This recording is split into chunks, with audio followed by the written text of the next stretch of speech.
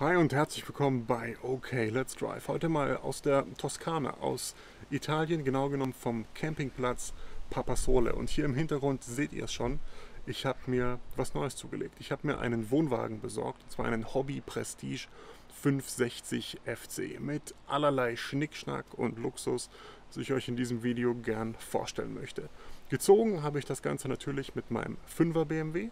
Der darf theoretisch 2 Tonnen ziehen. Ich darf aber mit meinem B96 Führerschein nur 1900 Kilo ziehen, denn der BMW wiegt schon 2345 Kilo und mit 1900 Kilo Anhänger bin ich genau im Limit dessen, was mit B96 möglich ist.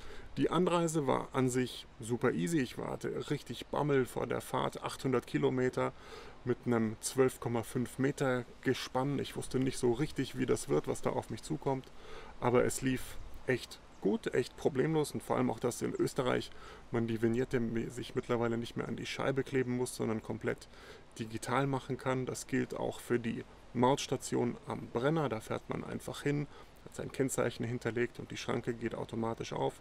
Das war wirklich cool, das hat wirklich Spaß gemacht. Und ja, jetzt sind wir hier in der Toskana, genießen noch ein bisschen die Zeit und ich zeige euch jetzt mal meinen Wohnwagen im Detail. Wenn euch das Thema Spaß macht, wenn das was für euch ist, freue ich mich natürlich über Likes, Kommentare und Abos. Viel Spaß! So, hereinspaziert ins klimatisierte, das große Highlight, ins klimatisierte Innere. Ähm, erzähle ich euch gleich noch genauer. Fangen wir gleich am Eingang an mit diesem Farbpanel. Hier steuert man quasi den kompletten Wohnwagen damit. Ähm, ja, ich will jetzt gar nicht im Detail darauf eingehen. Hier den Boiler, die Heizung, den Wassertank. Ähm, man kann das Ganze auch per App steuern. Bei Hobby funktioniert überraschend gut, was man mal vom Bett aus eine Heizung anmachen muss. Hier in Italien eher unwahrscheinlich.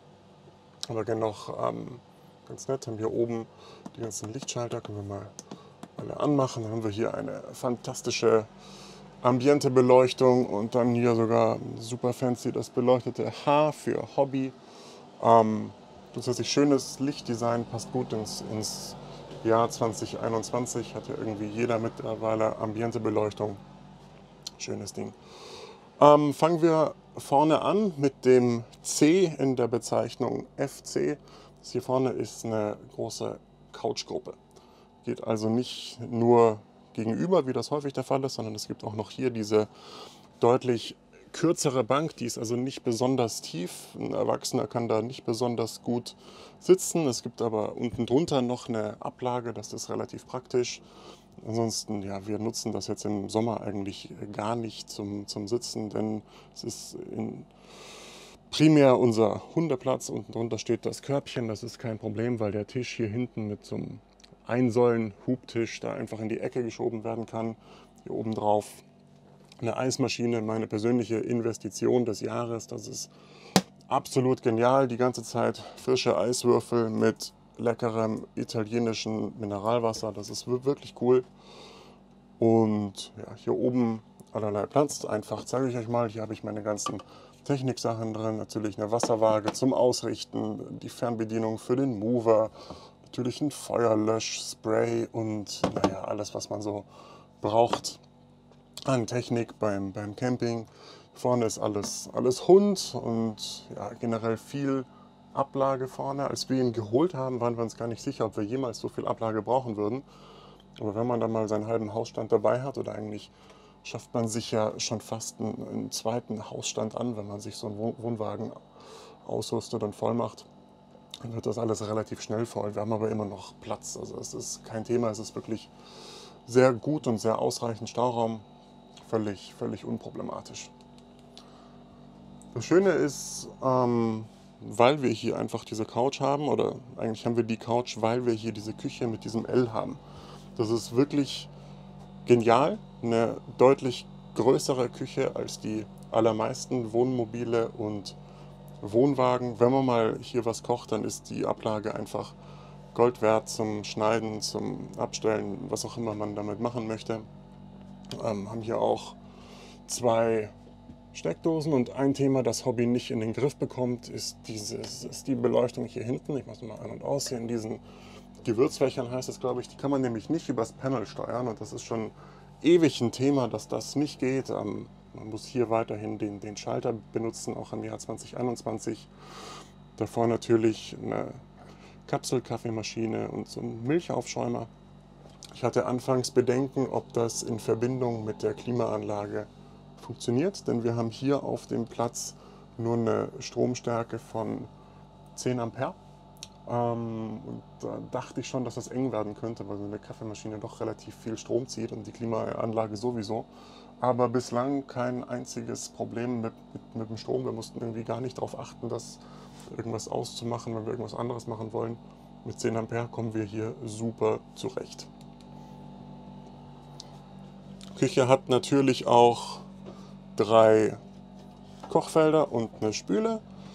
Waren auch schon mal alle drei gleichzeitig in Benutzung. Ist natürlich ein Riesenumstieg, wenn man zu Hause Induktion hat, hier auf so einem Gasherd. Macht aber, macht aber Spaß. Also ich habe echt Freude daran, hier zu kochen. Im Wohnmobil, speziell natürlich in Italien, wenn man sich da lokale Zutaten kaufen kann. Ähm, eine echt coole Sache.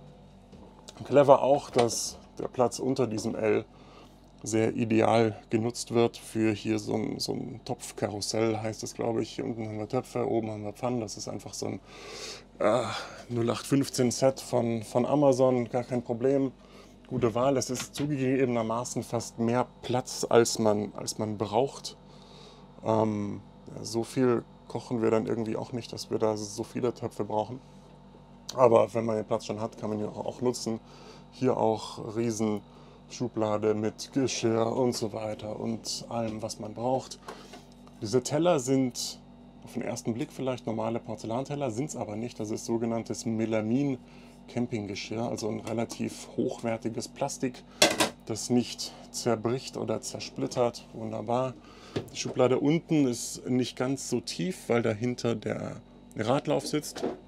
Das ist also der Radkasten aber ja, riesen, riesen Küche, ähm, cooles Ding. Hier hat man echt Platz zu kochen und Cocktails zu machen, was auch immer man tun möchte. Und ein Thema, was uns wahnsinnig wichtig war, ist das große Bad mit einer eigenen Dusche. Zu meiner Überraschung ist das bei Wohnwagen wirklich selten. Wir haben auch hier noch ein Licht, das wir anmachen können. Zack, zack, hallo ähm, ist es wahnsinnig selten, dass Wohnwagen eine abgetrennte Dusche haben. Da sind wir so mit äh, unter den wenigen, die das, die das wirklich wollen, die, denen das wichtig ist. Also man hat hier wirklich eine absolut ausreichend große Dusche. Man kann da absolut bequem drin duschen. Es ist dann zum Abtrocknen schon fast ein bisschen enger als zum Duschen selbst, aber nichtsdestotrotz geht das alles wunderbar. Dann gibt es hier diese Schiebetür. Man hat einen komplett abgetrennten Bereich für sein Toilettenbusiness und seine Duschvorgänge. Das ist ähm, echt cool. Also das mit dem Bad war die absolut richtige Entscheidung, da auf so ein großes zu gehen, denn so, so ein kleines, wo man irgendwie dann auf der Toilette duscht, das, das wollten wir nicht und das ist gut, dass wir uns hierfür entschieden haben. Das F in der Modellbezeichnung FC steht fürs französische Bett. Das hat eine Breite von 1,40, zumindest am Kopfende, und eine Länge von 1,95. Und wie man hier schon sieht, führt dieses ähm, Bett ein bisschen vorne zu. Es heißt, es ist vorne ein bisschen schmaler als hinten.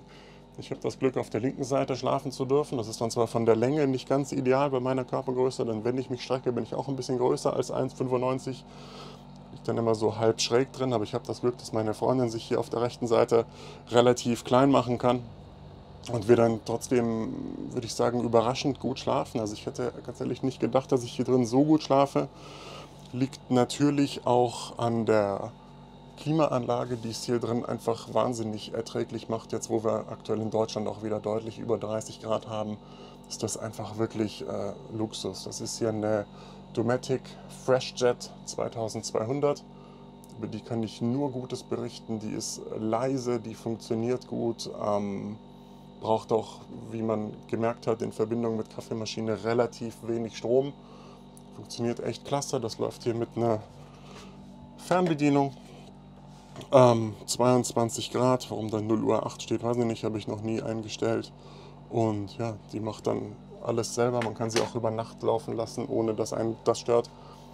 Cooles Feature. Ähm, zur Küche gehört natürlich auch dieser riesige Kühlschrank. Das ist der Dometic Slim Tower, befüllt mit italienischen Leckereien, Käse, Melone, Tomate, Schinken, alles, alles drin, was man braucht zum Glücklichsein, italienisches Bier. Ähm, wirklich cool, es hat sogar ein großes Tiefkühlfach, da ist natürlich auch Eis drin, so muss das sein im Urlaub.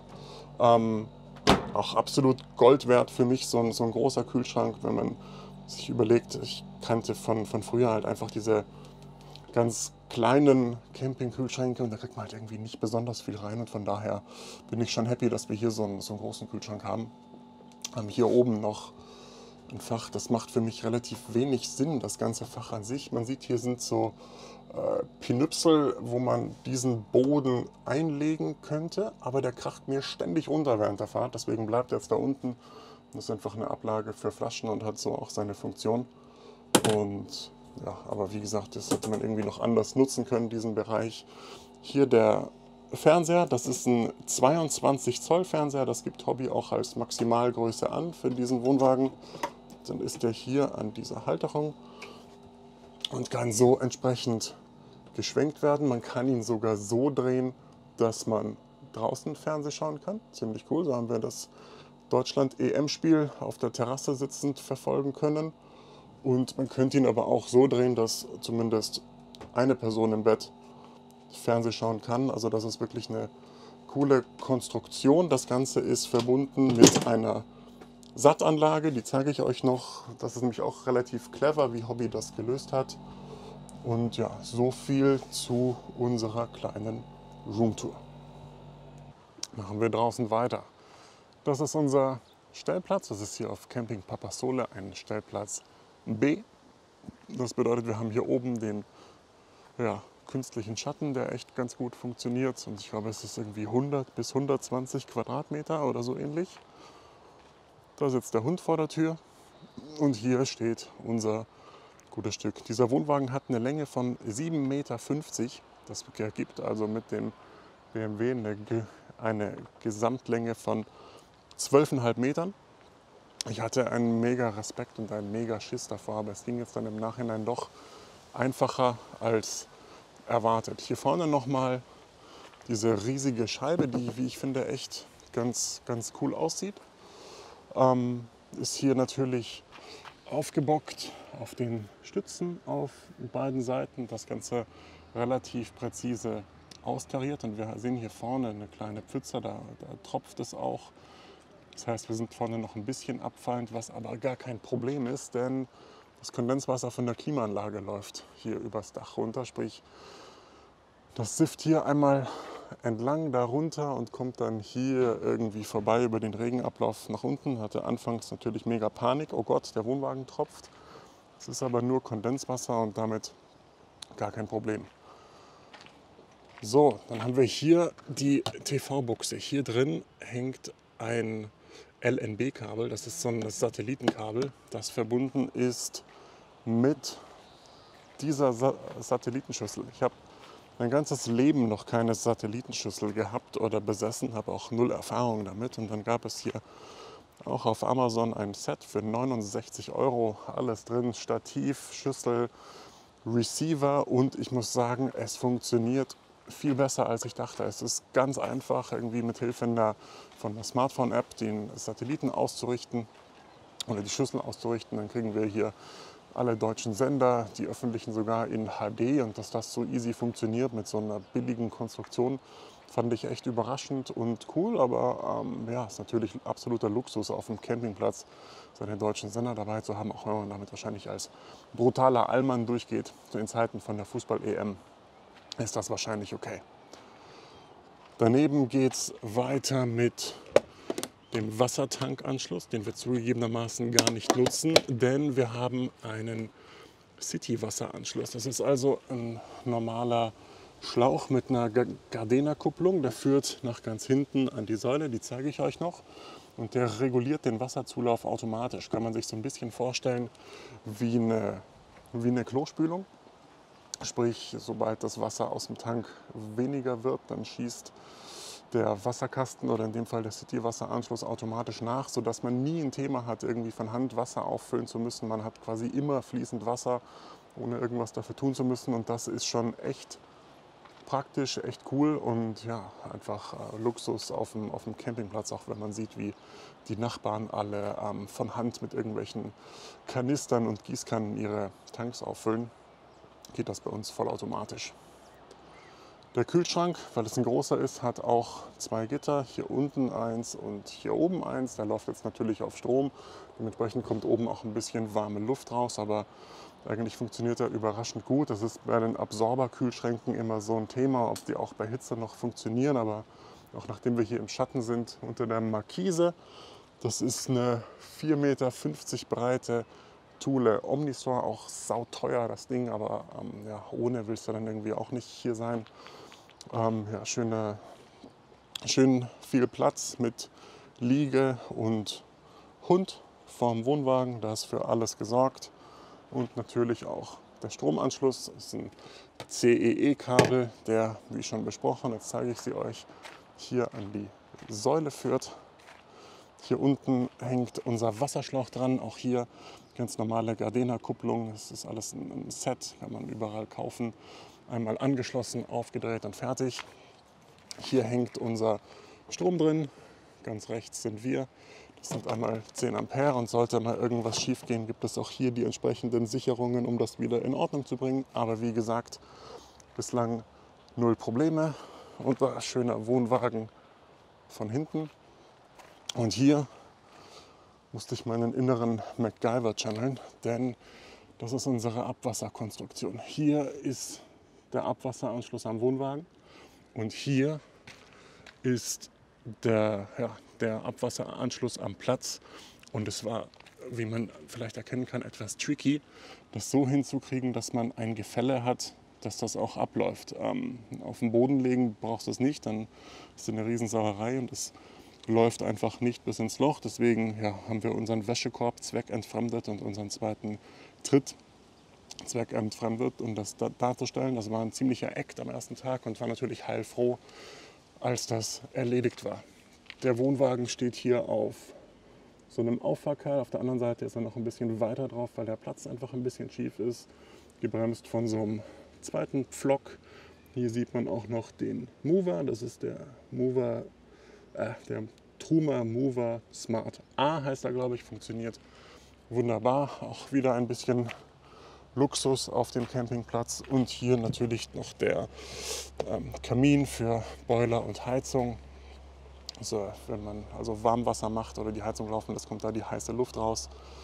Und ansonsten soll es das von hier draußen fast gewesen sein. Ich zeige euch noch den Gaskasten.